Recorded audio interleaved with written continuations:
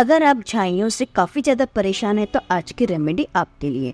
इसके लिए आपको एक पका हुआ टमाटर लेना है, लेकिन टमाटर थोड़ा सा कड़क रहना चाहिए, एकदम सॉफ्ट नहीं रहना चाहिए। इस तरह से जूस वाला रहना चाहिए टमाटर।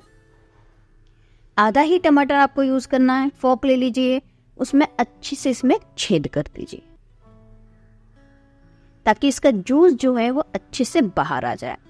इसके बाद इसी के ऊपर हम डालेंगे एक छोटा चम्मच शहद का।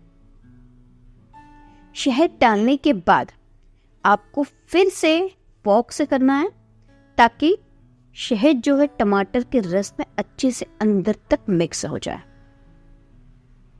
ये अच्छे से मिक्स हो चुका है, इसे आप ले लीजिए। अपने पूरे फेस पे अच्छे से लगाइए। मसाज टमाटर के साथ ही आपको करनी है और अच्छे से करनी है।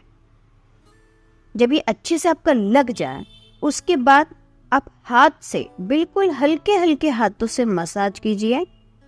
टमाटर से आपको ज़्यादा देर करनी है, हाथों से कम देर करनी है। पाँच मिनट रखना है।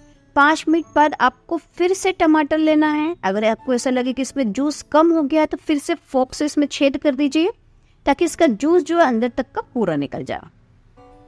और अच्छे से इसे आप रब कीजिए।